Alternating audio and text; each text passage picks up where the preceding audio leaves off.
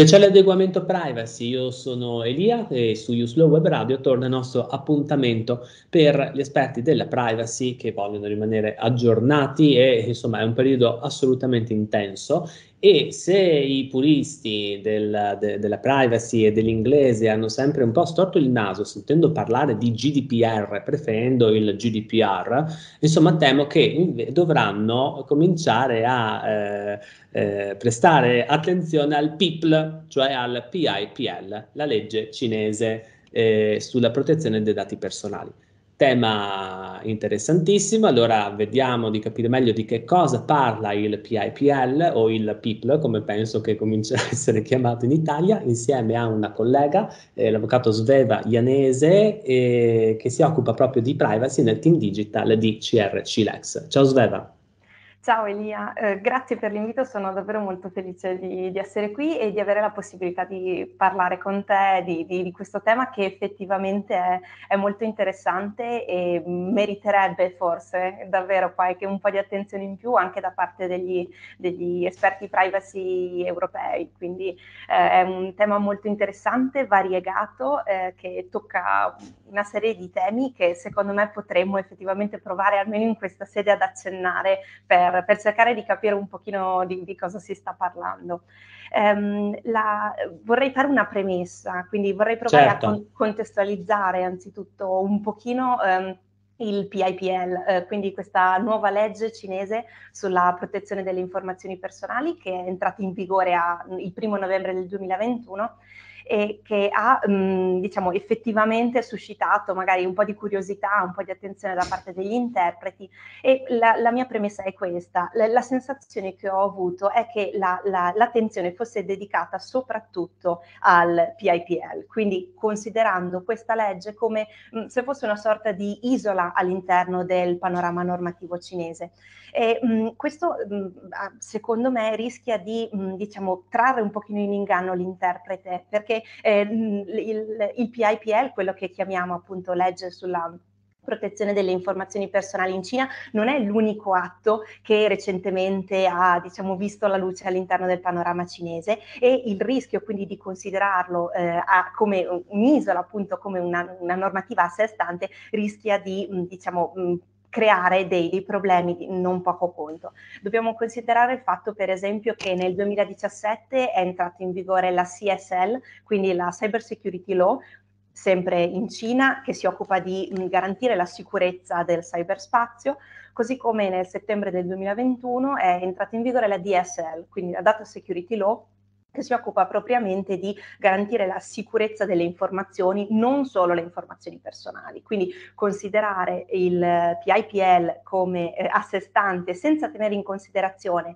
queste eh, le disposizioni di dettaglio contenute all'interno di questi due atti che abbiamo appena citato rischierebbe effettivamente di eh, diciamo dare una visione parziale e quindi mh, impedirci se vogliamo di, ehm, di, avere una visione completa. Consideriamo Ma Sveva, poi eh, oltre al fatto fatto che abbiamo anche chiaramente un sistema di principi e di valori eh, molto diverso da quello occidentale, in particolare da quello europeo eh, in Cina. Quindi anche questo rapporto tra protezione dei dati e sicurezza è interessante proprio nel capire no, le, le, le, priorità diciamo, tra, tra, i due casi, il bilanciamento no, tra, tra, i diversi interessi. Mh, mm, è, è diverso rispetto all'Europa in che termini? Eh, assolutamente sì, la tua puntualizzazione è, è, corretta, è correttissima. Dobbiamo inserire lo sforzo del, del, legislatore cinese all'interno di un panorama più ampio, che è un panorama geopolitico e che è un panorama ideologico. Dobbiamo, non dobbiamo dimenticare infatti che lo sforzo eh, che stanno facendo le autorità cinesi è rivolto alla, all'autosufficienza tecnologica e questo diciamo, è stato sì. detto in, in, più contesti. Quindi ehm, lo sforzo è quello di normare il più possibile questo sviluppo, questa corsa all'innovazione, alla, all'introduzione di nuove tecnologie da un lato e dall'altro la gestione mh, accentrata dei flussi di dati e di informazioni. Quindi assolutamente le due i due profili sono strettamente connessi e devono essere eh, portati avanti di, di pari passo, questo, questo, assolutamente sì, perché altrimenti rischiamo, ripeto, da un lato di dimenticare eh, che ci sono delle parti importanti da eh, tenere in considerazione e soprattutto in ragione del fatto che eh, l'autorità di controllo è unica e quindi i profili di compliance sono considerati diciamo in sede ispettiva sia dal lato della, del PIPL, quindi rispetto alla protezione delle informazioni personali, sia dal lato del CSL, quindi della sicurezza del cyberspazio e della sicurezza delle informazioni, per cui rischiamo di focalizzare i nostri sforzi sull'adeguamento soltanto al profilo della protezione delle informazioni personali e essere completamente carenti, completamente carenti dal lato della sicurezza e quindi prestare il fianco a sanzioni che sono comunque sanzioni eh, eh pesanti. Eh, questa è proprio un'impostazione anche diciamo di, di, di governance no? delle autorità di controllo che è mh, completamente diversa da quella italiana europea dove invece abbiamo no, della, eh, delle autorità diverse per, eh, per i temi. Quindi in Cina la stessa autorità che poi si ritroverebbe a verificare l'applicazione del PIPL è la stessa poi che si occupa di sicurezza informatica, un po' come se in Italia il garante della privacy fosse anche l'autorità per la cyber security? Sostanzialmente sì, sostanzialmente okay. sì. Vediamo invece eh, di capire meglio l'ambito di applicazione, perché eh, appunto quali sono i casi in cui si applica il PIPL e quali sono i casi invece dal punto di vista delle aziende che si trovano magari a dover applicare sia il PIPL che il GDPR. Questo è, è, un altro, è, un altro, profilo molto, molto interessante. Eh, la, la, norma di riferimento all'interno del PIPL è l'articolo 3 e questo già all'interno della, della, mente dell'interprete europeo ci richiama l'articolo 3 del GDPR, quindi in questo effettivamente sì possiamo eh, individuare una, una, vicinanza, ecco, una corrispondenza tra, tra le, due, le, due, normative. Eh, l'articolo 3 del, del PIPL fissa quindi l'ambito di applicazione e individua anche diciamo, sulla falsariga della, dell'esperienza europea un ambito di applicazione territoriale e un ambito di applicazione extraterritoriale. Per quel che riguarda l'ambito di applicazione territoriale, il riferimento è rappresentato dal trattamento delle informazioni personali eseguito in Cina. Quindi eh, i eh, trattamenti di dati personali che abbiano luogo in Cina, pensiamo ad esempio al eh, titolare del trattamento che abbia la propria sede legale e la propria sede operativa all'interno della Repubblica Popolare Cinese, eh, in quel caso la, il, l'operazione di trattamento è soggetta alla, eh, alla disciplina del PIPL. Per quel che riguarda invece l'ambito di Quindi, scusa Sveva, quindi è certo. leggermente diverso dall'articolo 3 invece del GDPR, cioè eh, come mai questa scelta del criterio? Perché appunto l'ambito di applicazione territoriale del GDPR ha più a che vedere con la presenza no, del, dell'interessato sul territorio europeo, mentre in Cina hanno, avuto, hanno prestato più attenzione all'ubicazione del, dei, delle informazioni, dei dati Della... personali. Esattamente, dell'attività del trattamento. Diciamo testualmente l'articolo 3 si focalizza principalmente sull'attività del trattamento. Questa è una sfumatura leggermente diversa. Da un punto di vista operativo, eh, il, diciamo, il, le due, mm, il, il, risvolto probabilmente è, è, il medesimo, però sicuramente è una sfumatura di, da, da, tenere in considerazione. In questo caso appunto abbiamo una, una focalizzazione principalmente sul, sul trasferimento, sul, perdonami, sul trattamento, sì. il fatto che il trattamento sia effettuato all'interno del, del, territorio, del territorio della Repubblica Popolare Cinese. Quindi ti chiedo questa cosa, naturalmente l'articolo 3 in Europa ha comportato poi tutta anche una giurisprudenza sulla ehm, se il trattamento effettuato a mezzo di eh, modalità telematiche ehm, fosse o non fosse diciamo eh, da considerare applicabile al GDPR, quindi eh, cittadino europeo che acceda a sito web e-commerce eh, di azienda extraeuropea eh, se si applica o meno il GDPR. Eh, da tuo parere questa sfumatura comporta delle conseguenze su questo tipo poi di, di, di casistiche? Eh, allora, eh, sì, assolutamente sì. Eh, la difficoltà, eh, diciamo, da, um, in questa fase è che la normativa è molto giovane Certo. E quindi ehm, diciamo, si tratterà di eh, attendere ancora qualche tempo per capire effettivamente quali saranno le sfumature e i risvolti pratici che formulazioni di questo tipo potranno avere all'interno del, del, contesto cinese. Teniamo in considerazione comunque il fatto che per quel che riguarda l'ambito di applicazione extraterritoriale eh, c'è comunque un'attenzione anche alle ipotesi di trattamenti, di informazioni che avvengono al di fuori dei confini territoriali della Cina, che riguardino però informazioni personali di cittadini cinesi e che consistano da un lato nella eh, produzione, nella fornitura di prodotti o servizi a cittadini cinesi, ovvero eh, attività che consistano nella profilazione, ovvero nell'analisi dei comportamenti eh, avvenuto in Cina. Quindi, eh, e, quindi qua si introduce il concetto di cittadinanza, no? che sì, chiaramente è più tutela in modo diretto ai cittadini cinesi, invece GDPR diciamo, ha un criterio diverso. E, e, quindi com'è questo regime del trasferimento dei dati al di fuori no, della Cina? Perché noi consideriamo il trasferimento di dati eh, dall'Europa alla Cina come un trasferimento pericoloso che richiede tutta una serie di misure o dell'articolo 46 eccetera e invece i cinesi che vogliono trasferire in Europa cosa devono fare? Eh, anche da questo punto di vista il, la, il, tema è caldo, direi che è stato l'aspetto che più di altri ha incuriosito forse l'interprete, l'interprete europeo. Il legislatore cinese si è posto questo problema, quindi troviamo delle disposizioni specifiche all'interno del PIPL dedicate proprio al tema del, del trasferimento, sono gli articoli 38 e seguenti. Um, l'approccio eh, del, mi verrebbe da dire, del legislatore cinese rispetto a, alla, alla all'operazione di trasferimento di informazioni personali extra Cina è un approccio eh, diffidente, mi verrebbe da definirlo così, eh, perché le, mh, gli, gli, articoli dedicati alla, ehm, all'operazione di trasferimento di dati extra Cina prevedono che, ehm, richiedono che il titolare che intenda operare, effettuare questa operazione abbia vera necessità di effettuare il trasferimento. La, um, la, il legislatore cinese ha utilizzato queste parole, truly need, Mm. proprio al fine di evidenziare, secondo me, in maniera chiara che la, l'approccio, quindi la soluzione del trasferimento di dati extra Cina, debba essere un approccio eccezionale e determinato da assoluta, mh, assoluta necessità. Ecco, questo è... Quindi la diffidenza è reciproca, siamo, siamo corrisposti, ecco, diciamo.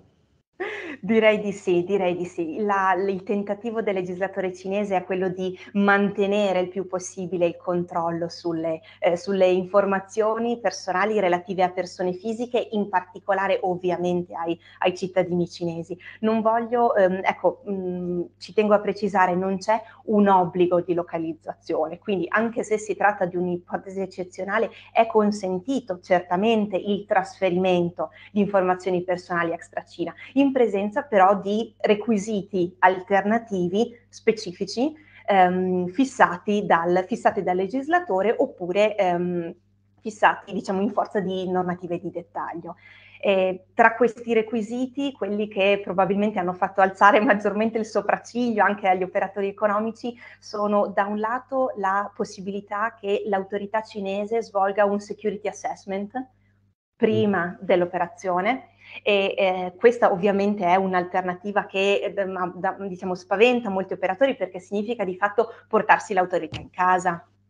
E questo eh, non, è, non, è, banale, anche alla luce di quello che ci siamo detti prima sulla compliance a Non ho capito una cosa, Sveva, questo si tratta di un controllo eventuale, un po' come funziona da noi per le ispezioni del nucleo della Guardia di Finanza eh, del garante, oppure come una sorta di consultazione, autorizzazione preventiva, che quindi in ogni caso deve essere effettuata?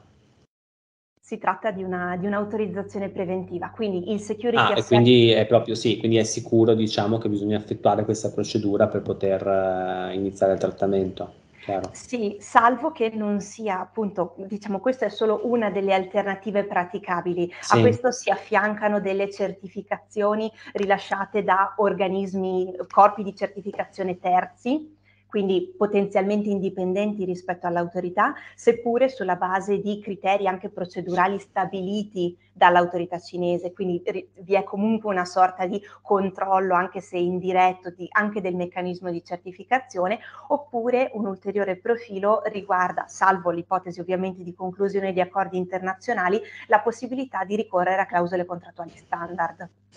Quindi anche all'interno del contesto eh, cinese c'è questa possibilità ehm, con la necessità che queste clausole contrattuali standard vengano ovviamente vagliate precedentemente dalla competente autorità cinese e ehm, al momento non abbiamo ancora notizia del fatto che queste standard contractual clauses siano state già varate. Quindi ci troviamo di fronte da un lato alla possibilità di ricorrere a un meccanismo che permetterebbe di evitare diciamo, un controllo pervasivo come quello conseguente a un security assessment, allo stesso tempo però eh, queste st- clausole contrattuali non sono ancora state approvate, quindi ci troviamo di fatto di fronte a una lettera morta in questa fase e si tratta di attendere effettivamente poi gli sviluppi concreti di questa, di questa specifica Assolutamente. Norma. Poi la nostra disciplina europea prevede un meccanismo invece che do- dovrebbe essere poi quello, quello principale eh, della decisione di adeguatezza, che come sappiamo con la Cina non è mai stato stipulato, eh, abbiamo diverse decisioni con altri paesi eh, al di fuori dell'Unione Europea. Recentemente eh, e recentemente il presidente Biden con la Commissione europea ha discusso no, della possibilità di arrivare al terzo accordo, sperando questa volta che sia la volta buona e di eh, superare i problemi che ci sono stati con eh, Safe Harbor e Privacy Shield. La normativa cinese prevede un istituto di questo tipo, quindi un istituto generale con la possibilità di un accordo internazionale di fatto poi con uno Stato estero oppure prevede solo quei meccanismi diciamo puntuali di cui ci hai parlato finora? No, è prevista anche la, la, possibilità di concludere un accordo internazionale. È già previsto testualmente all'interno del, del mm. PIPL, quindi diciamo questa potenzialità è, può già essere, essere attuata. Mm, anche in questa sede, vista appunto la, la centralità della, della, materia, diciamo dell'operazione del tras- di trasferimento, eh, il legislatore ha demandato ancora una volta alla normativa di dettaglio piuttosto che a eh, fonti di rango secondario la possibilità di eterointegrare questa disposizione prevedendo eventualmente delle ulteriori fattispecie all'interno delle quali questa operazione di trasferimento possa essere eventualmente possa essere attuata. Poi naturalmente ci sono questioni di eh, equilibri geopolitici estremamente complessi ed estremamente estesi, eh, non solo alla luce no, della cronaca recente, però insomma visti, eh, visto tutto quello che sappiamo degli ultimi anni, quindi vedremo insomma come evolverà questo, questo tipo di eh, diciamo di, di, bilanciamento dei rapporti tra Cina, Europa e aggiungo Stati Uniti.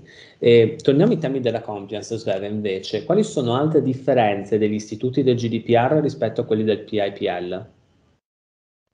La, ehm, ehm, direi al netto di una differenza che tu hai menzionato giustamente, che è una differenza di approccio, di contesto, che, mh, rispetto alla quale non possiamo ovviamente eh, ehm, diciamo chiudere, chiudere, un occhio, ma che dobbiamo tenere in considerazione. Ci sono dei profili anche di carattere tecnico che secondo me sono interessanti per, per, l'operatore, per l'operatore, europeo. Il primo tra tutti, primo tra tutti secondo me, ha, ha a che fare con la categoria di, delle sensitive information che richiama un po' alla memoria la nostra categoria delle informazioni sensibili, dei dati particolari. E mh, è curioso perché mentre all'interno dell'articolo 9 del GDPR troviamo un'elencazione che è esemplificativa, ma allo stesso tempo puntuale delle informazioni che noi dobbiamo considerare come dati particolari, l'approccio adottato dal legislatore cinese è opposto, è completamente diverso e defini- lo definirei un approccio teleologico che va a guardare lo scopo e il risvolto finale del singolo trattamento. Ehm, perché dico questo? Perché in relazione alle informazioni, a quelle che definiamo informazioni sensibili, il legislatore cinese ha ritenuto di qualificare come tali le informazioni che se divulgate o illegittimamente rese note, ehm, fossero in grado di determinare un pregiudizio per la dignità della persona, ovvero mettere in pericolo la sicurezza personale o la sicurezza patrimoniale dell'interessato. Quindi eh, l'approccio è completamente diverso. Andiamo a vedere le conseguenze della, di una disclosure di queste informazioni. Se si traduce in, una, ehm, in un pregiudizio per la dignità o per la sicurezza personale o patrimoniale, allora a cascata quell'informazione deve essere qualificata come sensitive information. Abbiamo una un'elencazione esemplificativa che richiama comunque le categorie del GDPR. Abbiamo la, eh, ovviamente lo, l'origine etnica razziale piuttosto che il credo religioso, però secondo me quello che è importante notare è, è da un lato questo approccio eh, rovesciato, se vogliamo, rispetto alla nostra prospettiva, e eh, in secondo luogo il fatto che rientrino nella categoria delle sensitive information anche le informazioni finanziarie che è appunto un aspetto che eh, diciamo nella nostra prospettiva è in, insolito. Certo che sono dati comuni, ah, e quindi non c'è un elenco tassativo come invece è il nostro articolo 9, quindi diciamo un, nel loro caso i dati sensibili possono essere valutati anche sulla base di altri criteri, cioè un elenco solo esemplificativo. Esattamente, l'elenco è esemplificativo e ciò che, sul quale viene posta maggiore attenzione riguarda proprio questo, quindi i risvolti di una, di una divulgazione di quelle informazioni piuttosto che l'informazione in sé per sé. Eh, diciamo questo approccio forse lo ritroviamo nell'ultima categoria di, in, di sensitive information che riguarda le informazioni dei minori di 14 anni. In quel caso qualsiasi informazione, a prescindere dalla sua natura, proprio perché riguarda un soggetto di età inferiore ai 14 anni, è considerata per sua natura sensitive information, con ovviamente la necessità di, un, eh, di adottare maggiori accorgimenti proprio in ragione del carattere particolare di queste informazioni ulteriori profili eh, di, di, interesse, secondo me, ris- di differenziazione tra il PIPL e il GDPR hanno a che fare, per esempio, con le basi giuridiche. Eh, alcune di queste le ritroviamo quasi speculari, se vogliamo, anche nella formulazione all'interno del, del PIPL, con, la, con, alcune differenze. La prima, secondo me rilevante, riguarda il legittimo interesse, che all'interno del PIPL non è compreso tra le basi giuridiche, quindi non può essere considerato ehm, per giustificare, diciamo così, un, un, trattamento di informazioni personali. E la seconda peculiarità riguarda il fatto che sono eh, indicate in maniera esplicita alcune attività eh, singole, specifiche, come per esempio lo svolgimento di funzioni HR. Per le risorse umane ehm, è possibile effettuare un trattamento di informazioni personali senza il consenso dell'interessato. Questa attività è ricompresa insieme all'adempimento degli obblighi contrattuali, quindi proprio in una sede diversa rispetto a quella del, del consenso da parte dell'interessato. Oppure un ulteriore mh, profilo, un'ulteriore attività rispetto alla quale è possibile effettuare trattamento di informazioni personali riguarda il reporting, quindi attività giornalistica, oppure il controllo e il monitoraggio dell'opinione pubblica. Ah, beh, questo eh. chiaramente questo pi- piacerà molto, a, a, piacerebbe anzi molto ad alcuni, anche, anche da noi. Eh, eh, diciamo sempre diciamo, sulla lunghezza d'onda delle riflessioni che abbiamo fatto in, in, apertura, quindi il fatto che comunque il PIPL è figlio del suo contesto. Certo. Direi che questo, è, questo è, è, innegabile. Un ultimo profilo di differenziazione che merita di essere citato, secondo me, riguarda la comunicazione del data breach. Il fatto che all'interno del PIPL non abbiamo un riferimento temporale specifico entro il quale la comunicazione deve essere effettuata. Si richiede che la comunicazione venga fatta immediately, ma non, non c'è un, un, riferimento temporale preciso. È rimesso, se vogliamo, a, all'interprete, quindi a un'attività interpretativa eh, singola in questa fase, perché appunto la normativa è ancora troppo giovane per fare delle, delle riflessioni ad ampio raggio, certo. esatto, da parte della, della, dottrina. Però ecco, anche da questo punto di vista, circa il rispetto delle disposizioni, ehm, posto che c'è un'esigenza di celerità, non abbiamo dei riferimenti temporali specifici per quel che riguarda la comunicazione e quindi anche in questo caso il rischio è quello di prestare il fianco a possibili sanzioni che sono, ripeto, comunque rilevanti anche nell'ambito del contesto, del contesto cinese. Ti chiedo un'ultima cosa, Sveva. Una società italiana che intenda quindi eh, offrire servizi in Cina, effettuare un trattamento di dati di cittadini cinesi, a livello di metodologia, eh, quali sono diciamo, gli, i macro step in qualche modo, i temi che dovrebbe affrontare eh, anche solo per valutare queste ipotesi, perché quello che ci, spie- che, che ci è spiegato molto bene è comunque un quadro estremamente complesso da tenere in considerazione nell'attività di, di impresa, no? anche nel, che si vuole proporre a un mercato estero. Sicuramente, I, i passaggi eh, direi che sono, diciamo, potremmo comunque riassumerli in tre, quattro passaggi, però che sono passaggi fondamentali. Anzitutto, ehm, magari ecco, appoggiarsi a un consulente che sia un consulente di fiducia, quindi estero nella prospettiva cinese, oppure un, un consulente locale che diciamo, sicuramente ehm, potrebbe avere soprattutto sul medio periodo, quindi vista la possibilità di eh, etero-integrare le disposizioni del PIPL, potrebbe avere una visione di insieme mh, ma, migliore di quella che è la normativa nel suo complesso. Però eh, prima di tutto direi affidarsi a, a, un consulente, a un consulente privacy di fiducia dell'azienda che possa supportarlo in questa, in questa fase quantomeno di, di analisi. Eh, il primo passaggio riguarda sicuramente la, la revisione e l'analisi del data flow quindi mm. vedere quali dati vengono trattati, di chi, dove vanno, ehm, in che maniera eh, vengono processati, se c'è la possibilità di adottare delle soluzioni alternative che permettano la localizzazione delle informazioni, evitando quindi di ricadere per esempio nella, nel, diciamo, nell'istituto del trasferimento di informazioni extra Cina. Il eh, secondo profilo riguarda sicuramente il, mh, mm, diciamo, la valutazione, la valutazione di quelle che sono, ripeto, le misure eh, di sicurezza relative alle informazioni e il, eh, le procedure interne rispetto alla, eh, alla compliance, privacy, mh, mm, direi, la direi normale, quindi anche nella prospettiva del, del GDPR, eh, la mh, mm, possibilità di nominare appunto un dei referenti interni e di effettuare appunto una mappatura di quelle che sono tutte le informazioni che vengono processate. Una volta che abbiamo chiaro il, il quadro e quindi il tipo di informazioni e i, i tipi di trattamenti che vengono effettuati, ehm, eh, valutare all'interno del, di quale contesto eh, ci, ci, troviamo, quindi se si tratta di una, eh, un trasferimento extra Cina, approntare tutte le misure necessarie per essere il più possibile compliant a quanto stabilito dal, eh, dal PIPL.